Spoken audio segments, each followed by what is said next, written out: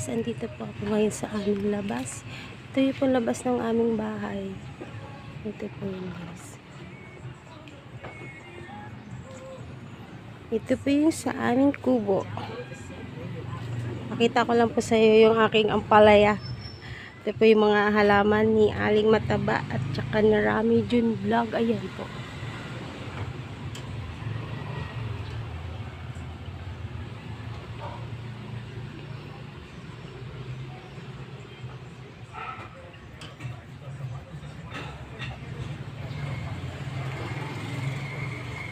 Aking mga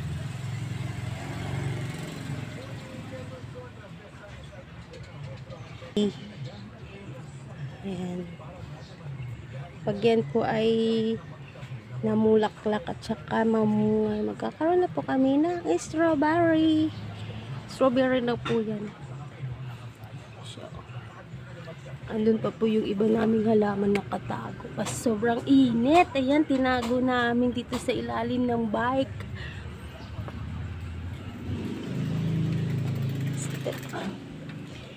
Yung aming halaman. Taas, no? Yung aking mga goma mela. Nagsisibulaklakan na po yan. Ito yung aking daisy. Ay, day, ano ba to? Ang tawag, adelpa. Adelpa pala yan. Hmm. Ito yung aking gumamela.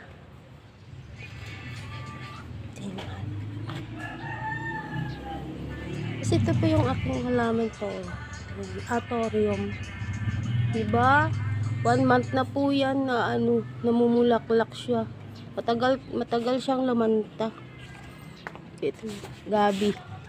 Gabi-gabing halaman.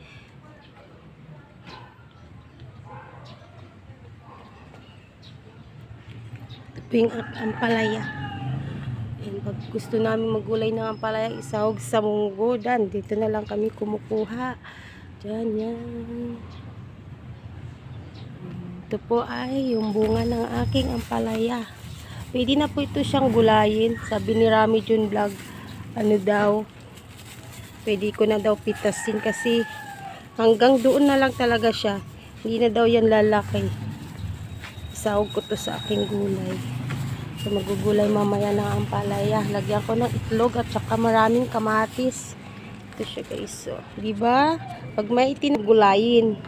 Yan tayo guys. So, isa nga lang siya. Tapos ito pa yung maliliit pa yan. No? Binalutan na namin para hindi uudin. Para di tutusukin na insekto ba. O di ba?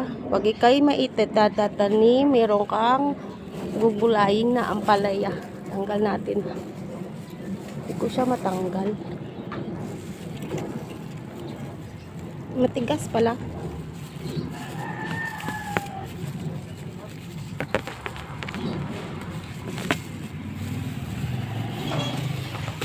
Yan, natanggal natin siya. O, di ba? Meron na akong gugulayin mamaya. Samahan ko ng maraming kamatis.